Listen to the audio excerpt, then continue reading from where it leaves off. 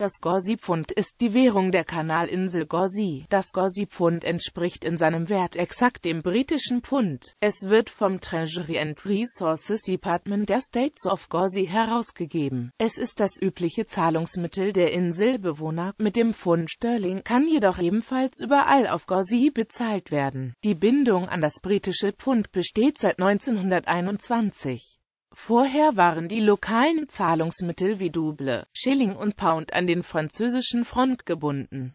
1971 wurde das Münzsystem dezimalisiert ein Pfund entspricht heute 100 Pence. Außerhalb von Gorsi wird das Gorsi-Pfund nur auf den benachbarten Kanalinseln als gültiges Zahlungsmittel anerkannt. Auch die Kanalinsel Jersey hat ihre eigene Währung, das Jersey-Pfund, das gleichfalls mit dem Pfund Sterling wertmäßig verbunden und nur auf den Kanalinseln als Zahlungsmittel anerkannt ist. Eine Bezeichnung nach ISO 4217 existiert nicht. Die übliche Abkürzung ist GGP. Weblink Die Banknoten von Gorsi